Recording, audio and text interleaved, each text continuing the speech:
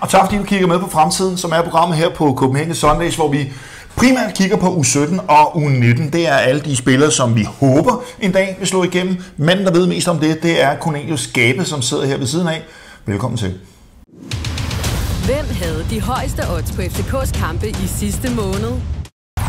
Det var igen Unibet.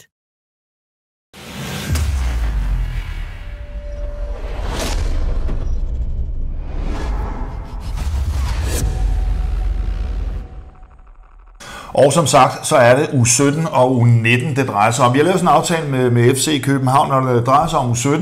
Så taler vi ikke med spillerne, der har vi lov til at tale med, med øh, trænerstaben, men U19, der er de altså blevet så store, så der må vi godt gå, gå til både spillere og ledere. U15, øh, dem, holder vi, øh, dem holder vi lidt stangen. Det er børn, så dem beskæftiger vi os ikke med. Men lad os starte med U17, og øh, velkommen til dig, Corner, endnu en gang. Hvad er der sket på U17-niveau siden sidst? Jamen tak for det. Øh, de har jo ikke spillet nogen ligekamp. De har jo nogle gange de her pauser. De har tre ligekampe tilbage i sæsonen, så de har brugt tiden på at være til et stævne i Frankrig, mm-hmm. øh, hvor de har spillet mod nogle relativt gode belgiske hold, både ja. Klub Brygge og Anderlecht. Der var 12 hold med til stævnet. Øh, FC København endte på en 6. plads, efter faktisk ja. at have vundet den indledende gruppe, mm-hmm. øh, hvor de vandt over Saint-André, øh, et belgisk hold, og så i knockout-fasen vandt over LA Galaxy. Kæft en svedig måde, du siger det navn på. Saint-André. Ja.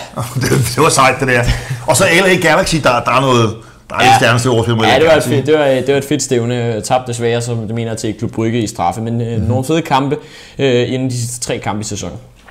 Og det er jo en måde at præppe de her unge, unge, øh, unge folk til at øh, give dem til en dag, muligvis hvis de er dygtige nok til at være klar til at komme ud og deltage i de her europæiske turneringer, møde for andre kulturer osv. osv. Så, så super fedt på det. Men nummer 12 ud af nummer 6, og er deres turnering... Nummer 6 ud af nummer 12. Ja, det, det, det, det, det, det er klart federe variant den der. Er deres øh, turnering helt færdig nu? Du vil, du vil grine. Jeg kan se det corner, det er fedt. Ja, det var øh, den turnering, det blev spillet over nogle dage. De er nu tilbage. Jeg så dem træne her øh, for nogle dage siden øh, på tieren, og så nu er de klar til at, at forberede sig på de sidste tre ligakampe i U17 Ligaen. Okay, vi kommer til at grine os igennem resten af det her. Ja. Øh, sådan, sådan er det. En gang så går det galt. Øh, U19. U19 siden sidst. Hvad er ja, sket? De har været en tur i Herning, hvor de fik en ja. 3-0 sejr over Okay, vi strammer op nu. Undskyld. Hvor de fik en 3-0 sejr over FC Midtjylland i den ja. sidste kamp i uh, ligaen. Uh, og det betyder, at de er inde på andenpladsen, som egentlig var afgjort inden ja. uh, den her kamp, og de fik også sølvmedaljerne derovre.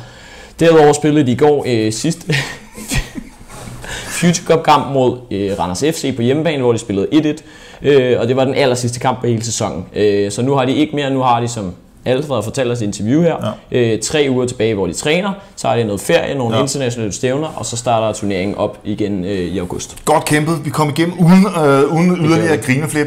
Og du har fået en snak med cheftræneren øh, Alfred. Nu skal du ikke begynde igen. det gør du, det kan jeg se. Uh, du har fået en snak med Alfred Johansson. Lad os lige... Ja, det har jeg.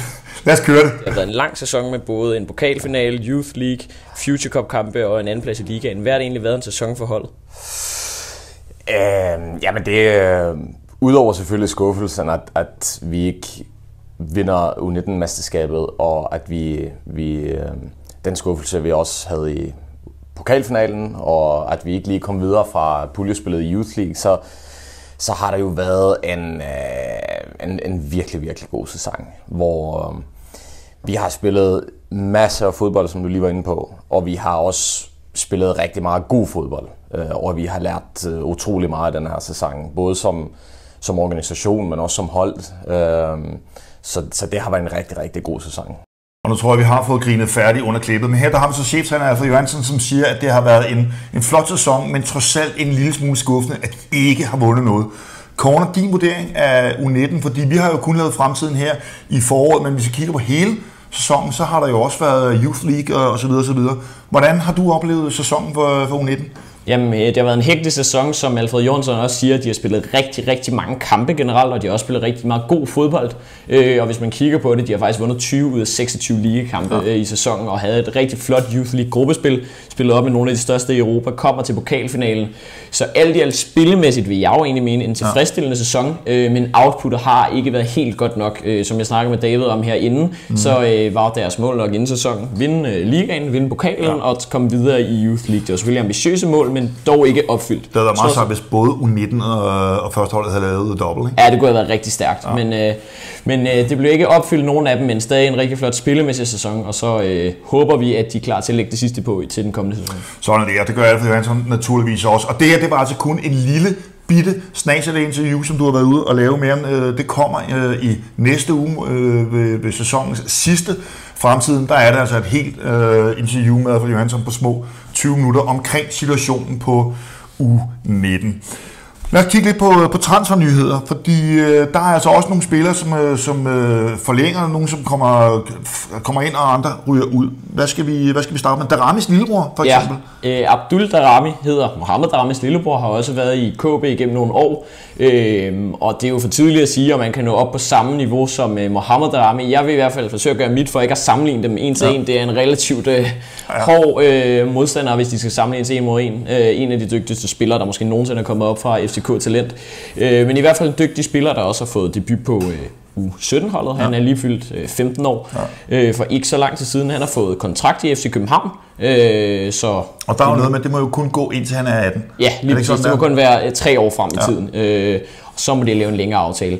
Øh, så det er jo fedt for ham, øh, og man ser jo flere og flere af de her spillere spille på kontrakt. Så det bliver spændende at se, øh, hvor langt øh, Abdul Darami kan nå op Ja. øh, i systemet. Altså, det, det er lidt op ad bakke, ikke? fordi uanset hvordan vi vender og drejer det, så vil vi komme til at, at tænke på hans storebror Mo, som jo, øh, som du selv siger, var en af de bedste spillere, vi, øh, vi har set overhovedet nogensinde komme fra, fra vores egen rækker. Men, men det er noget gang bare sådan, øh, at det er. Vi håber selvfølgelig, at han har arvet hans, øh, øh, har det samme talent øh, som Mo, men det er jo svært at sige, når du, når du er 15 år. Hvad er der ellers sket derude? Øh, en Emil Møller Ja. Forlader os. Ja, det gør han. Der øh, var en rigtig flot artikel på fck.dk, øh, ja. lavet af Torgild Førsdal, mm-hmm. der, der kommer ind på, at Emil Møller forlader KB, eller FCK Talent, og han ikke skal mere op i førsteholdstruppen, men ikke kan spille U19-fodbold længere. Og han har været rigtig, øh, han er jo rigtig ked af, at han, det ikke bliver til mere i FCK, øh, og han har i hvert fald det, man hører ud fra KB mm. rundt omkring, at han er en af de spillere overhovedet gennem de sidste næsten 10 år, der har arbejdet aller, aller hårdest. Han har virkelig knoklet ja. hver evig eneste dag. Han har aldrig været den med det mest åbenlyse talent, hvilket også er derfor, han nok ikke får øh, forlænget. Øh, men han har virkelig arbejdet stenhammerende hårdt, øh, så en hård skæbne for, øh, for ham. Men, men, men sådan er det jo. Der er Ja. jo en udløbsdato på, når du er på det her talentakademi. Og du må gå ind og, og læse det. Uh, Torgild Forsdal har lavet et fremragende arbejde på fck.dk. Gå ind og læse om uh, forløbet, om hans tanker, om hans forhold til klubben. Og i særdeleshed, synes jeg var enormt fantastisk at læse, hans drømme om og en dag at kunne vende tilbage til FC København. Ja. Det var fedt at læse, synes jeg. Lige præcis. Det er ikke afklaret nu, hvad han skal efter øh, sommer, så det må vi finde ud af. Man kan jo håbe, at han kan få noget første divisions fodbold, måske endda Superliga på et lidt ja. yderligere mandat. Nå, men han var jo, Øh, ja. ifølge ham selv, der var allerede kontakt til, til nogle Superliga-klubber, ikke? Øh, så, så fedt for ham. Og en anden bak på U19-holdet fortæller Alfred i det interview, vi teasede for før, at øh, de har taget afsked med Oliver Svendsen, der var lejet i Esbjerg, og ja. han skal ikke blive permanent i FC København, ja. ligner det i hvert fald. Øh, mm. Og øh, ja, så han tager tilbage til Esbjerg og bliver ikke forlænget. Så det var lidt, øh, Og lidt det er jo bare de brutale facts, de her, de, her, de her spillere, de lever under. Det er altså meget, meget, meget få, som går hele vejen igennem og kommer til FC Københavns førsteholdstrup. Øh, det, er, det, det, det, det er sgu op, øh, op ad bakke. Den sidste, vi lige skal vende, som overrasker mig rigtig meget, det var Isak Johannessons lillebror, øh, havne i FC Nordsjælland. Altså det havde jo været naturligt, at han var øh, råd til FC København, men øh, Daniel Ingi Johannesson, han er nu øh, spiller i FC Nordsjælland. Hvad, hvad har du hørt omkring den her situation? Vil vi ikke have ham, eller hvad? Øh, det jeg i hvert fald har hørt, og det er der ikke nogen hemmelighed, kan vi starte med. Han har været til prøvetræning i FC København tidligere. Det er ikke nogen hemmelighed af flere øh, omgange. Øh, og FC København har, ifølge det jeg har forstået og hørt, øh, haft muligheden for at få ham ind permanent også. Øh, og det har man simpelthen ikke ønsket sig, som jeg forstår det. Ja. Øh, er det mere et valg af FC København end spilleren og agenten selv. Okay. Øh, så vi havde muligheden for at mm. få Daniel Inge Johannesson ind i FC ja. København, men har af den ene eller anden årsag ikke valgt at benytte sig af den, af det jeg forstår. Så, så man behøver ikke være så bange øh, for at sige, hvorfor tager Nordsjælland lige pludselig, kunne vi ikke få ham eller Ja. hvad. Det, er- det er ikke det, jeg har forstået i forhold til forløbet. Og det er jeg glad for at høre. Øh, Det er jeg glad for, for at høre, fordi det var en ting, som jeg tænkte, okay, det er godt nok vildt, hvis de kan snuppe en spiller, som vi egentlig gerne vil have, som for øvrigt har en storbror, Ja, ja, som spiller på første. Så er på første hold, men sådan forholdt det sig ikke. Corner så kom vi igennem en sæson med, med fremtiden. Jeg synes, det er, det er en smuk lille baby, vi har fået født, Ja. og den øh, lever videre til næste sæson. Ikke? Det gør den helt gør sikkert. Vi, øh, vi har som sagt et langt interview med Alfred Johansson, ja. og så kommer vi til at dække øh, opstarten øh, med nogle Ja, træningskampe. men du er slet ikke færdig jo. Ah, nej. altså, men nu er det bare fremtiden. Ja. Øh, der, der holder vi en pause med nu, og så går vi i gang med det en gang til august igen. Ja, ikke? Øh, og så er der jo snart transfer. Ja, Og der er du i den grad øh, en, af, en af kaptajnerne der. Så som så vanligt, når det drejer sig om FC København, så er det ikke kedeligt. Det bliver aldrig kedeligt. Det har aldrig nogensinde været kedeligt. Og så kan det være, nu har jo 17 stadig tre kampe tilbage, vi også lige lave en afrunding på dem, når de er færdige, tager en snak med Martin Vingård. Det synes og jeg, vi får- skal gøre. får fuldt den til dørs ja. også, så følg med stadig. Måske skulle vi få Martin Mingård her til øh, her med få en kop kaffe, få en snak lidt om ungdomsfodbold og hans afslutning i FC København osv. osv. Det kunne være, være meget sjovt. Godt, det var vi nået den her omgang. Tak fordi du kiggede med. Hvem havde de højeste odds på FCK's kampe i sidste måned? Det var igen Unibet.